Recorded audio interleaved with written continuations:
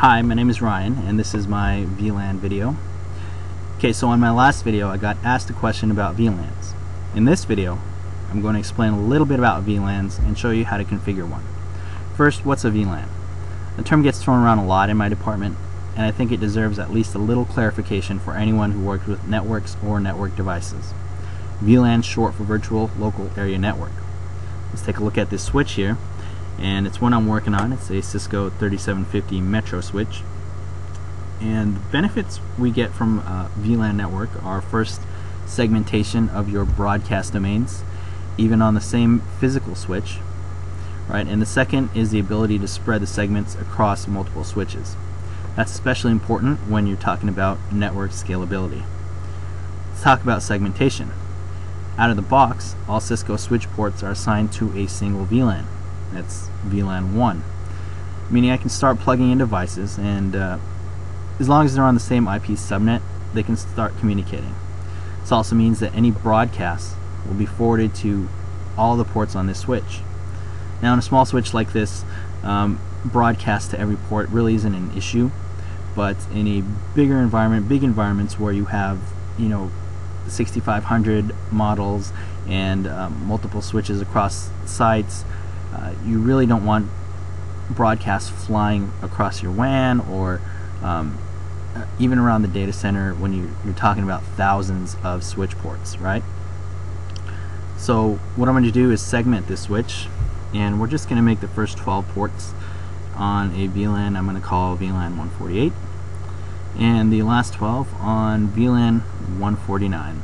let's jump into the configuration and what we're going to do first is create this interface, a virtual interface called VLAN 148. Okay, so interface VLAN 148, and we're going to assign this VLAN, this virtual interface, an IP address. IP address 192.168, and if you remember my IP address, is 148, and we're going to give this host address of .15, 24-bit mask let's get out of there and let's just show show run interface VLAN 148. And this is my IP address. We're going to create another uh, VLAN interface called 149 and we'll give that IP address 192.168.149.15 you can give it any IP address you want. I just like picking 15 for the switch. Let's get into config mode. 01. Get into the interface configuration. And uh, the first command you would put is switch port. The next one is going to be switch port mode access. And this is where we assign the VLAN and switch port switch port, access, VLAN 148. Let's show that interface again. Show run interface as 101. I see it's on switch access VLAN 148. Let's do a show interface status. And you see in that column for VLAN we've got it on 148 this PC can now ping it can now ping uh, should be able to ping that switch on VLAN 148 just the VLAN 148 and we won't be able to ping the 149 um, VLAN address so let's do a ping. 192.168.148.15 and we get a reply. And just to prove to you we will not be able to see 149.15 because there is no router and we're not routing bridging between the two VLANs. Okay so let's make every other port uh, did I say 1 through 12 on VLAN 148 so now we're gonna go config T. Interface and its range. Is either 1, 0, 1, dash, let's go on through 12,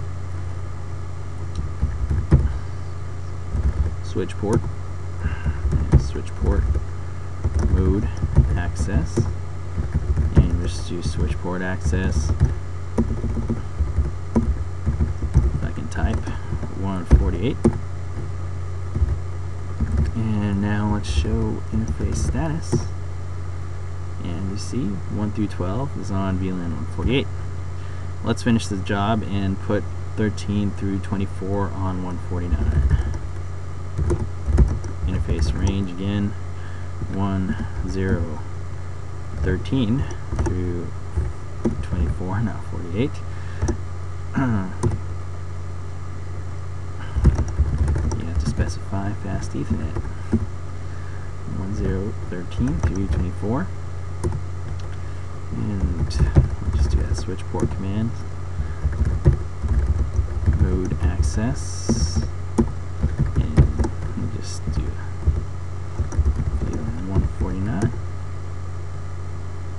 And you see, it says creating VLAN 149 because you can create those VLAN interfaces um, but it doesn't really create it in the VLAN database, which is a topic for later.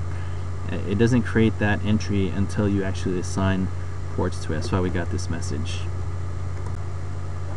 So what did we just do? What did we accomplish? Let's look at the illustration again. We created two VLANs, 148 and 149. Ports 1 through 12 are on 148. 13 through 24 on 149 and you can look at it this way. We've sliced this switch up, this single physical switch, into two logical ones. So VLAN 148 and 149 act as if they were on separate switches. Any broadcast coming into a port on VLAN 148 will only be forwarded to switch ports on that same VLAN. And the same with 149. Now, we, we did it really organized where consecutive ports are in the same VLAN and, and I kept it really neat. But you could really have every other port on 148 or 149 you can have one port on 148 and the rest on 149 um, any mix right? And that allows you to basically reconfigure the network and re relocate uh, relocate devices onto another virtual switch virtual LAN uh, without moving the cables and that gives us a lot of flexibility in the next video we'll talk about spreading these VLANs across multiple switches. We'll talk about trunking too, we'll get to that. Uh, but for now, if you guys have any questions, feel free to post them or send me a message. I will get to them. If you have ideas for other topics we can cover, um, I'll look into it and see what we can learn.